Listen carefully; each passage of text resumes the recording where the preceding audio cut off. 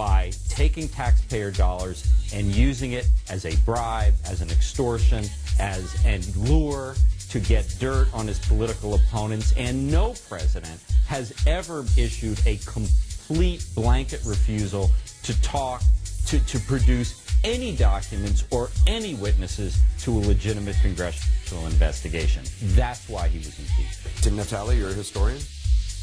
The founders were not sure whether they wanted a strong executive.